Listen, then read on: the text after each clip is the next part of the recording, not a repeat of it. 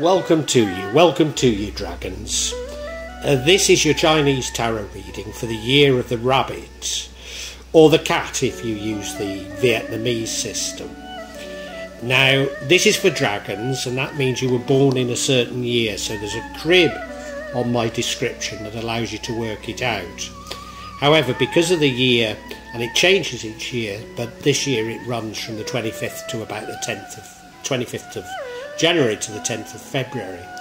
If you're born in late January, uh, then it's a bit more difficult and you need to Google it to work out what sign you are.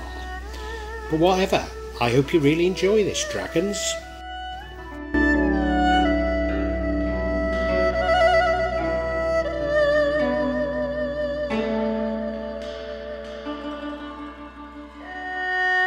Dragons, first and foremost, I should say, this is about a year.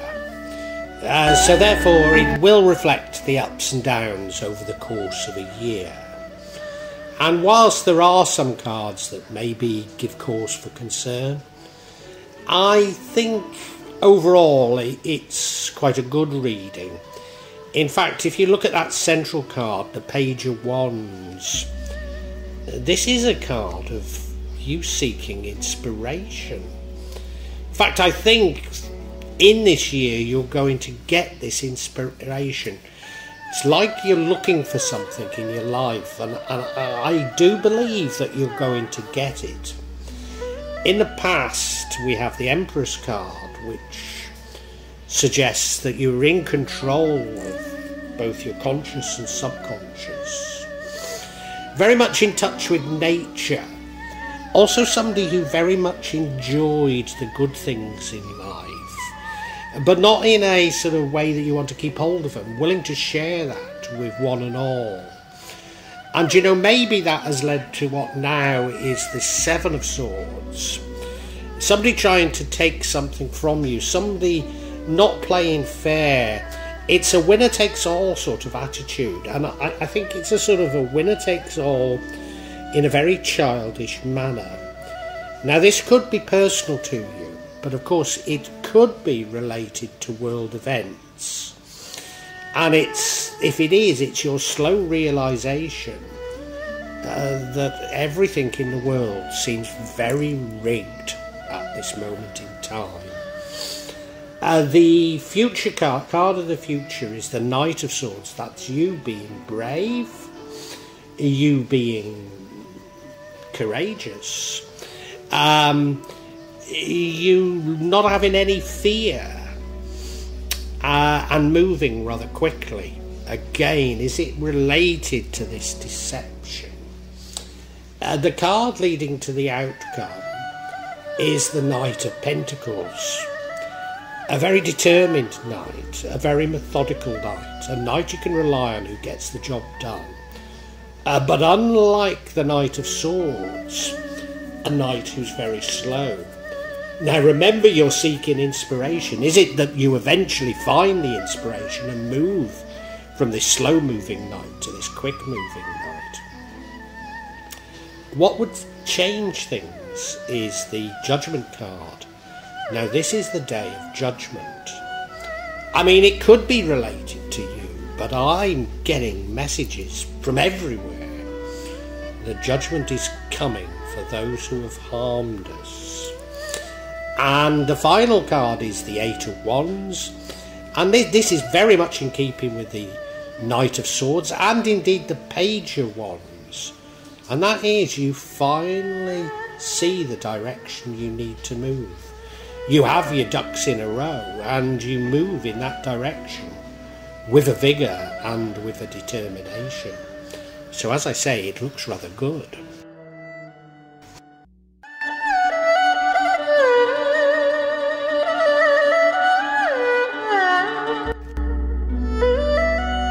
Now we have this page of wands in this central position, so it reflects on all the other cards, and I think it's a great card to have here.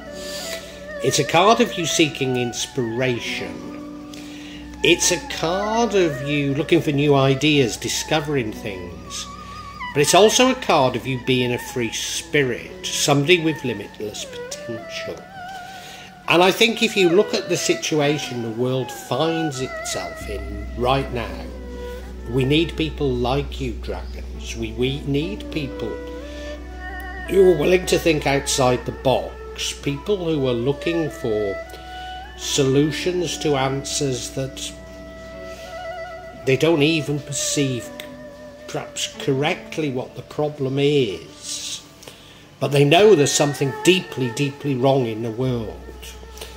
And those people who are willing to abandon their previous thought patterns are going to be those who we look to for leadership. Because it's clear our current leaders aren't offering any at all. Are you going to become a leader, Dragon? I don't know. Uh, you look at the card, there's a coyness about it, isn't there? There's a little shyness. She doesn't really know where she's going. She knows she wants to go somewhere. And I think that's a lovely spirit to have in those these times, dragons. I really do.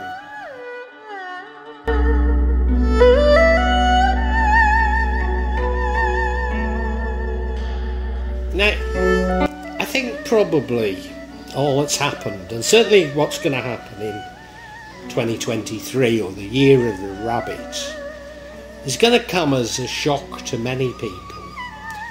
And they're going to find that those things that they thought they had that were firm, they lose. And in the past, you had the Emperor's card.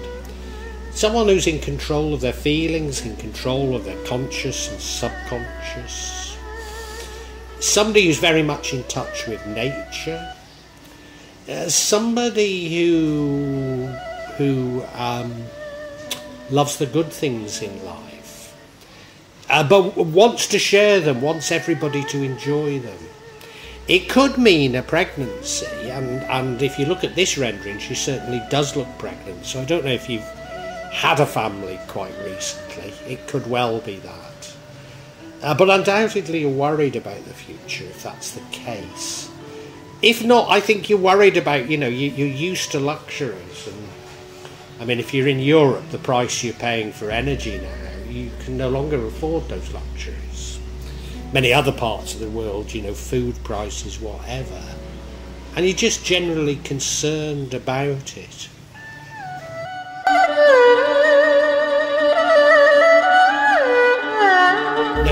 Current energy is the Seven of Swords. It's a card of deception, a card of somebody trying to win at all costs, a card of, yeah, you being. You're being deceived. Somebody's trying to take something from you. Somebody's trying to take something from you. They probably know what they're doing is wrong. They might not even get away with it, but it's happening.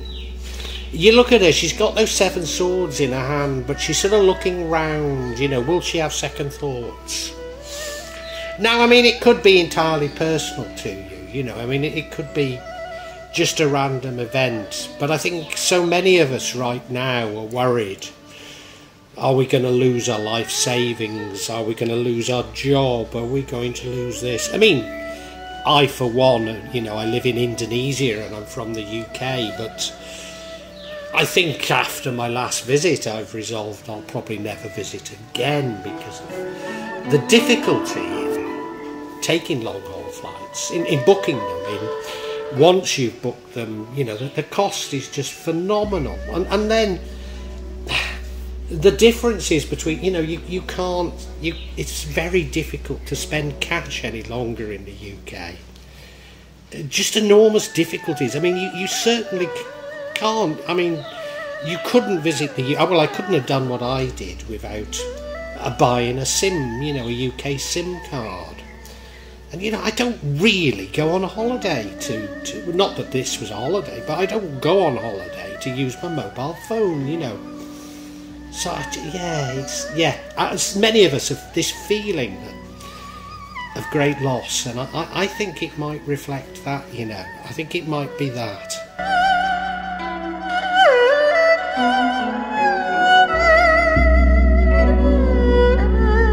Your future energy is the Knight of Swords.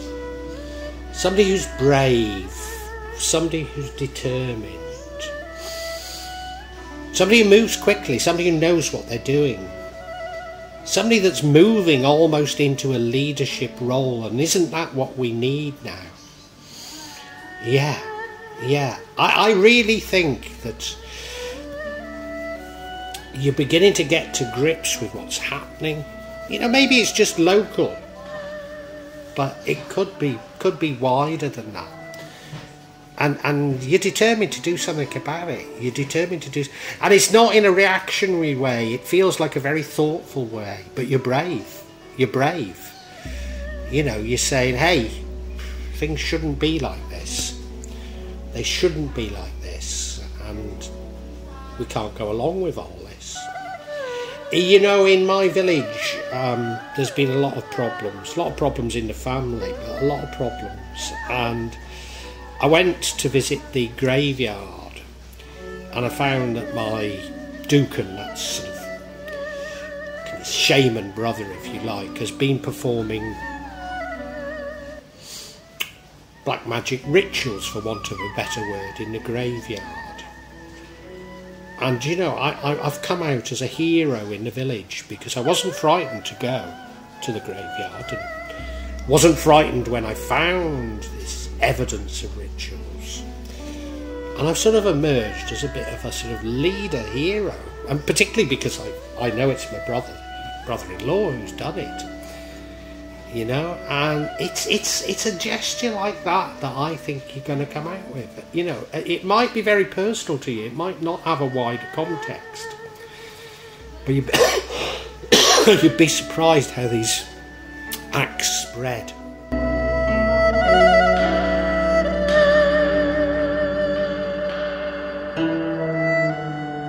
the energy that leads to the outcome is another knight uh, but if you remember, the last knight is the future. So chronologically, the last knight is probably after this knight. This knight is the Knight of Pentacles. He's also brave. I mean, you can certainly rely on him. He's somebody that will get the job done. Very, very reliable, very methodical, uh, but crushingly slow, unlike the Knight of Swords, who's quick. He's a knight that puts one foot in front of the other. You know, he, he just plods on. He just gets on with it. And again, I think we need people like that right now. And you know, even if this is entirely personal to you, in the face of the adversity of somebody trying to trick you or trying to take something from you, you're just plodding on, plodding on with things, thinking about it, thinking about what you need to do as a person. And I think that's very admirable. You look at him, you know, he does look determined, doesn't he? It looks fairly parched. I mean, he, he looks to be a British soldier during the, the Boer War, doesn't he? And, you know, it would have been parching in South Africa. You know, it would have been a difficult situation to be with, be in. But he's brave, you know, he's, he's, he's going to see it through.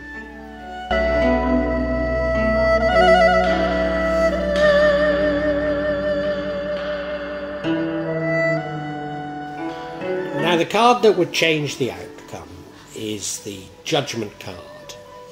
And this is a day of judgment. I don't think this is against you for one minute. I think it's the person who tried to deceive you.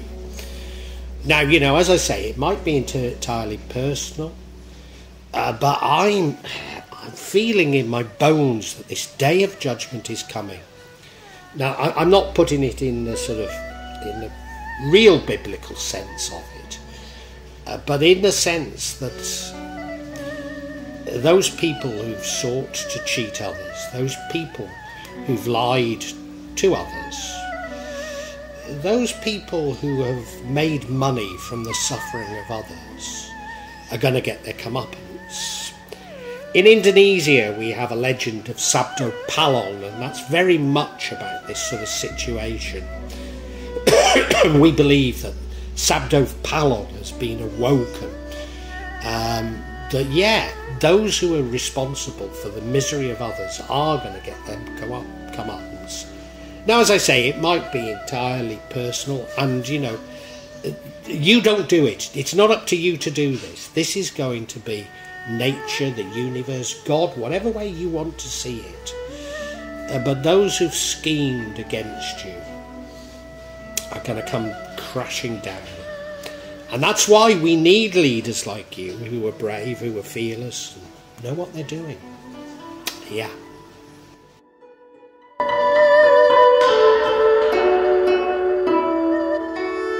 And the outcome, I think, is a great outcome, given all that I've already said. It's the Eight of Wands. Remember, this comes from the Knight of Pentacles, the slow, the methodical knight. So, by taking your time, by weighing things up, you suddenly get your ducks in a row, you suddenly know what you're doing, and you go off in a direction with vigour. It's like you've suddenly been empowered to do things.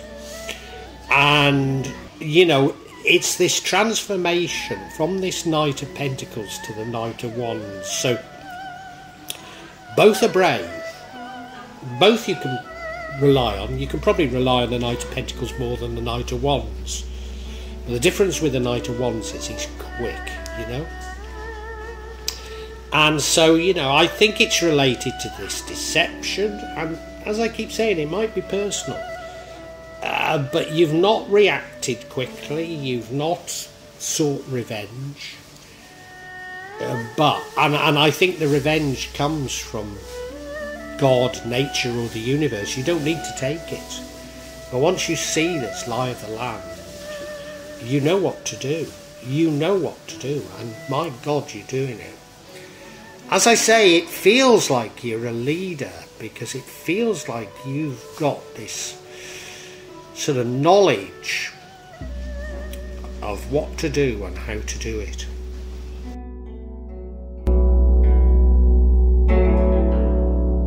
I'd like some clarification on this Seven of Wands, not least as I've gone off on one about world events and as I keep saying, it could be entirely personal to you, and I'm not certain the clarification sorts that out. Uh, but the first card of clarification is the Ace of Swords, so this is you getting some new information. So it's you realizing that you're being deceived. The second card is the third, uh, the Three of Swords. So this is you having a broken heart. So a broken heart from the deception. Is this about love? I'm not certain it is. It could be one that you do love that's been deceiving you. But the final card is the star card. Uh, this is a rebirth. This is hope. This is new hope. So that doesn't half fit in with the description I've already given. I mean, it still could be personal. Let's look at each individually.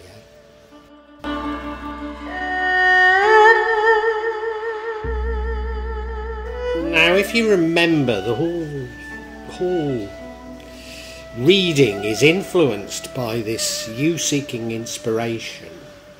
And this Ace of Swords is that inspiration coming to you. And it's inspiration coming to you about this deception. So you do see through this deception. You do see through it. Remember, I said that this deception, they might not get away with it. I mean, they might still get away with it, but you will understand what's happened. You will just be able to grasp what's gone on and why it's gone on, you know. Um, does it mean it's not personal? Certainly not, you know. It, it could well be personal to you. It could be that you're deceived. Could well be you're deceived by a lover, which, you know, the next card would indicate. But it might also be that you realise you've been lied to and deceived at a much sort of higher level. Um, uh, you know, it, it, could be some investments that you've made that now look to be a bit silly. But I, I just keep coming back to this sort of world events thing that you're beginning to see through things. I really do feel it's like that.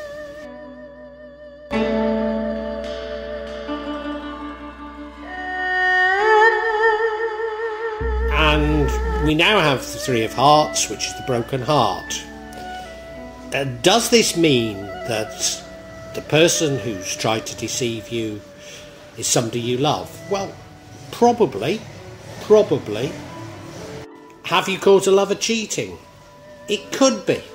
It could be that. And, you know, that's very much an alternative explanation to the one that I've been leaning to. Uh, but if you do see it as a realization that we, the public, have been deceived, greatly deceived, then it might indeed break your heart. I mean, my heart has been broken. Uh, I've been a, a business person and an educator most of my life. My business was sort of public policy research for government. And I sort of now look back at my life and, you know, I, I suppose well, I've got a good few years before I die, but saying, what have I achieved? And yeah, I've got something of a broken heart because I've achieved nothing. I've achieved nothing because of what I thought was the way the world worked, what I thought I was doing for good. It's not done any good whatsoever. You know, as an educator, what did I really achieve? Nothing. Nothing at all. In public policy research, what good did it do? None. None. I mean, there is no public policy research any longer. You know. Um, yeah. Yeah. My heart is broken, and maybe yours is in the same way.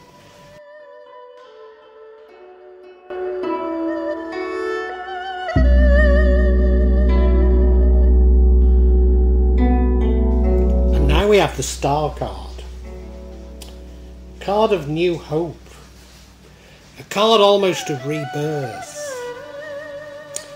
A card of, yeah, yeah, great new hope. So it's as though you had to have this deception, have your heart broken, for you to see things clearly. Now, again, you know, it might be that somebody cheated on you and you know a, lover cheated on you and you needed that to see clearly see clearly what you must do with your life. But could it be these deeper things that I've been alluding to all along? It certainly feels like that to me you know. I mean this is the course over a year and this next year this year of the rabbit is going to be a tumultuous year for all of us that is for certain tumultuous. And I think you do find this new renewed hope from it. Uh, maybe people start behaving differently towards one another. Maybe we really do but see that we're all in it together, as opposed to this sham we're all in it together that's been going on. I don't know. I don't know, but it's a lovely card to have here. It's a lovely card to have here. Well, I think we can summarise for you, Dragons.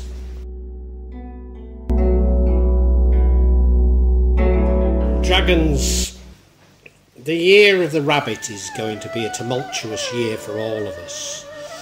A year of major ups and downs, a year of major upsets, a year of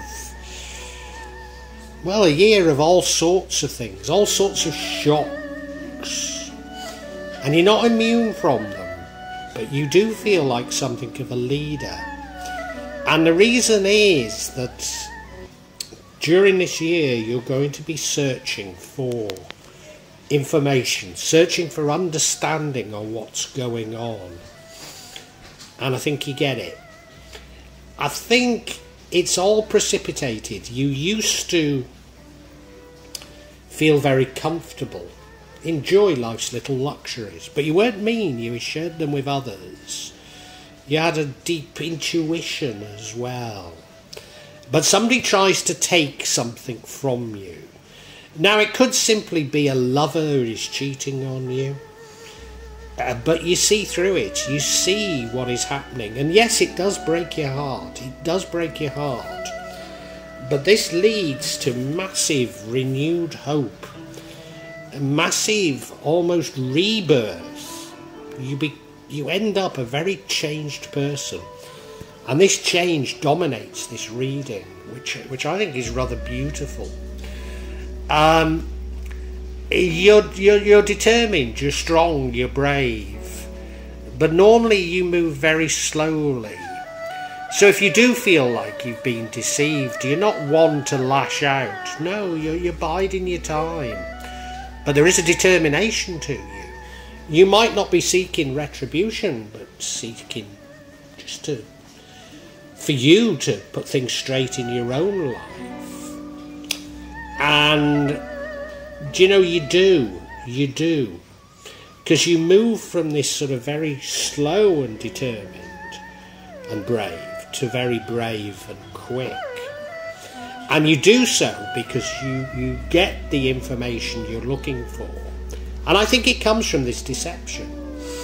And you get the information you're looking for, and as a result of that, you get your ducks in a row. You know what you want, you know where you're going, and you know how to do it. And from having been a very slow moving person, you're now very quick so you were contemplative, but you're now quick. Now, what might stop you from doing that is that there is judgment coming. This is a karmic judgment. So, whoever it is that has tried to deceive you, they're going to get their comeuppance from God, from the universe, from nature, whatever way you want to see this karma, but they're going to get it. And maybe you won't be quite so such a leader if that happens. I'm not sure. I'm not sure. Was this all entirely personal to you? It could well be. However, could it be referring to world events? It doesn't half feel like that. It really does feel like that to me. Uh, but whatever I'd say to you, dragons, this is your year to shine. It really is.